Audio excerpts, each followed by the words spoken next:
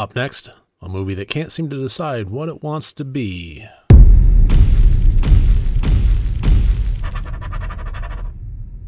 Hello and welcome to Rotted Review of the Day, and today I am taking a look at the 2018 movie Killer Kate. Uh, this was a low budget, small production that I kind of picked on a whim, and what I found is it is a fun little ride that wound up not having a whole lot going for it in terms of believability or much of a point of existing. Uh, but to get into more detail than that, we're going to have to get into the categories. As always, four different categories, each one worth up to 25 points for a total possible score of 100 points. So the plot of this one I gave an 8 out of 25. This followed the character of Kate, uh, who is estranged from her sister Angie, and Angie is getting married tomorrow and is having her bachelorette party and wants Kate involved. She wants her sister to come back into her life and join her for a bachelorette party and a wedding along with Angie's two friends. And uh, so they get a B&B kind of place, uh, the movie's version of Airbnb, and uh, they wind up getting assaulted in a home invasion kind of way. Uh, this movie differs from a lot of home invasion uh, style movies in a number of ways. Uh, principally, you get to see the attacker's viewpoint of things in the planning stages, um, in the behind the scenes stuff, and the movie attempts to stride that line between horror and comedy uh, and drama uh, by having the villains be a bit of uh, a bumbling mess. Bickering family that doesn't quite know their heads from their tails, and uh, it has a lot of infighting and uh, you know to some comic relief, but uh, it, it's definitely not a terror inducing, suspenseful uh, tour de force of a home invasion movie. The levity prevents that from happening. Um, so you get to see both sides of it, both from uh, Kate and Angie and her friend's point of view, uh, as well as from the attacker's point of view. Um, but uh, by uh, attempting to have that uh, jackassery level of the villains, it wound up uh, not really knowing what it wanted to be. Uh, is it a comedy? Is it a horror movie? Is it a comedy that has a lot of blood and gore in it? Is it a horror movie that has some levity in it? Um, and uh, that's a really tricky, tricky thing to pull off. And what I found more often than not is the best way to handle it. Uh, outside of what winds up being kind of cult classics, which you really just cannot purposefully replicate. That has to be an organic, natural thing.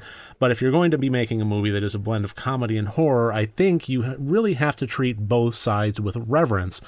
Um, one of the best examples I can think of is uh, Cabin in the Woods was a great example of when you had the horrific elements, they were deadly serious, and then you had them cutting to the men behind the scenes, and there was some levity involved. Two very different tones, and they didn't bleed together a whole lot.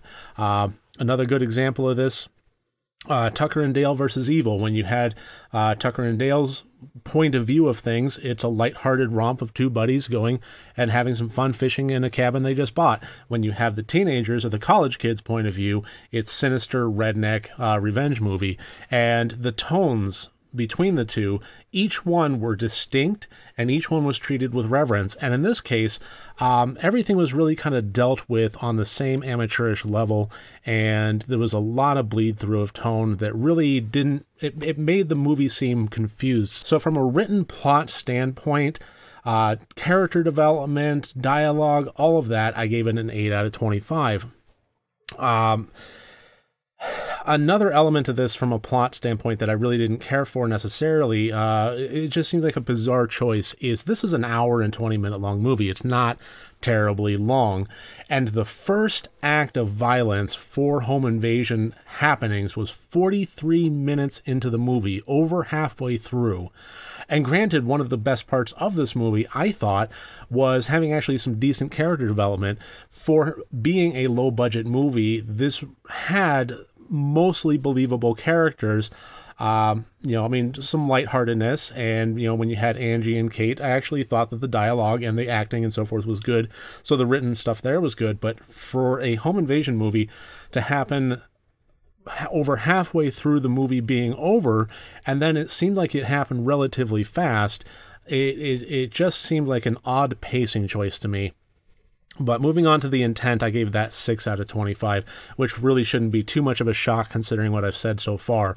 Um, having a comedy and a horror uh, mix, it's definitely not a bad thing, but it's got to be treated with very delicate hands. And uh, one thing that this movie did that I find a lot of comedy horror combos that don't work also do is this had an element of playing to the audience, which I really think that's something that should be avoided if at all uh, possible. The comedy has to traditionally come from a place of juxtaposition between a, a, moment of levity and the horrific elements that are happening in contrast to it. Um, to have it uh, where the the the characters are kind of almost in on the joke, uh, it does one or the other a disservice. Usually both. But the one thing that I can say I, I did like about this movie is the levity that it did instill. I actually found myself fairly on board with. I thought it was cute. Uh, it actually, despite myself, had me laughing, genuinely laughing, not at uh, the absurdity, but l- genuinely laughing at the comedy of it. Uh, in one or two parts. So, uh, from a comedic standpoint, I think this movie worked.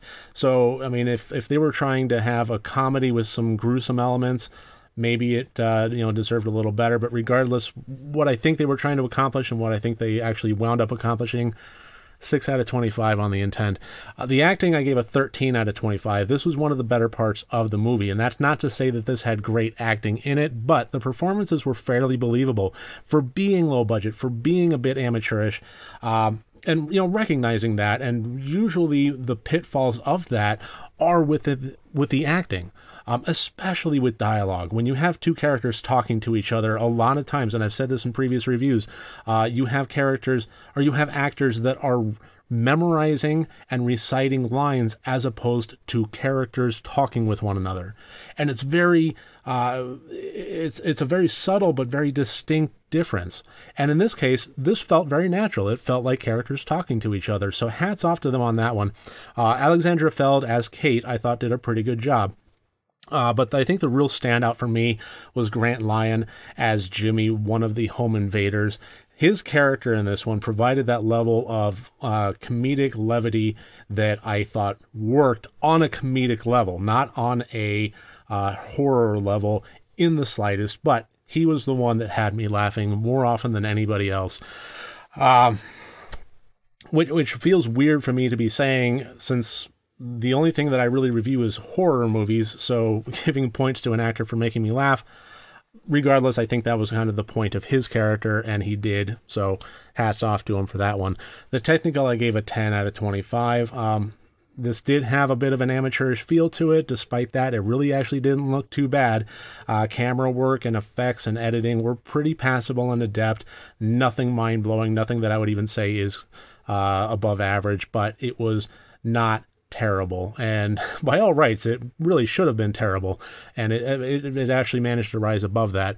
Uh, more than anything else, this movie was very uh, unoriginal. And I think that was one of the worst parts about it. Um, you had characters that had a baseball bat wrapped in barbed wire that had a female's name attached to it. Uh, you, you had a you know a, a scene that, although it made me laugh, was right out of Ferris Bueller's Day Off. Uh, there were elements of this that just were uh, movie fans making a movie more than artists wanting to tell a story. And that's ultimately, I think, one of its biggest failings, but still made it a fun watch in its own way. That's about the best way I can really describe it. So that gives it a total of 37 out of 100 points. Would I recommend this one? I would have to say probably not. Uh, I, you know, this is. I feel I'm I'm in a weird position. I wanted to like it more than I wound up apparently doing. I saw this had a 3.6 uh, out of 10 on IMDb. And even after having watched it, I'm like, oh, it should be a little higher than that at least. But tallying up my scores, that's 37 out of 100. That's pretty much 3.7 out of 10. I'm right in line with it, and I'm a little befuddled about it. So I, I, I enjoyed it more than I hated it, but at the same time, I also found it a bit pointless that's about the best I can really say as far as my recommendation of it goes. if you want a fun time that is completely pointless, then Killer Kate, you could do a lot worse than. So that should about do it for my review. Thank you very much for joining me here today. I look forward to seeing you tomorrow. And remember, next time you want to watch a horror movie, first make sure that it's good and rotted.